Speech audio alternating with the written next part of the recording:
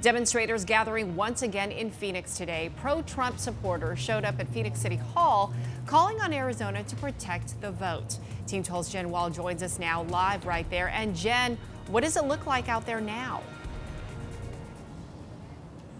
Yeah, good afternoon to you, Tram. So there's about 40 people or so behind me right now. The demonstrators have been here since about 9 o'clock this morning. Go ahead and take a look. Things have quieted down quite a bit, and really, it has remained a very peaceful rally outside here at Phoenix City Hall. A lot of folks bringing their American flags, their Trump signs. A showing for President Donald Trump earlier today, the group chanting, We've had enough. Go ahead and take a listen. We've had enough. We had enough. We had enough. At today's protest, organized by the national group FreedomWorks, they call themselves a center right leaning grassroots organization filled with political activists. They came to Phoenix City Hall today carrying pro Trump signs and others reading things like Stop the Cheat. Demonstrators calling into question the election nationally and specifically here locally in Arizona. But there has been no reported issues with the vote count here in Arizona.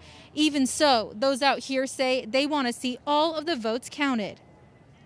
I just want to see the election and the ballots counted fairly. We don't want it called until all the votes have been counted. Because we want to make sure that the integrity of the election is protected, and so we want to make sure that every vote is counted and that we, you know, every legal vote is counted and that we see, you know, a true um, number for who won.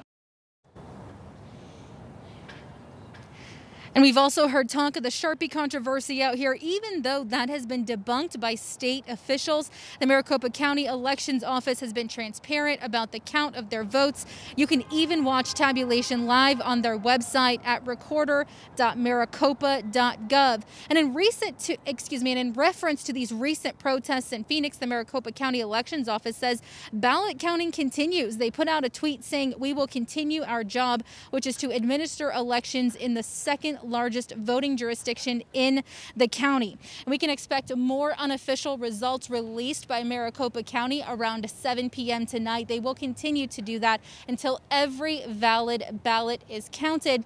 We've also heard from these protesters while they're out here now, they're also planning to meet at 6 p.m. this evening outside of the Maricopa County Tabulation Center, which is where we did see some demonstrators last night and then through early this morning.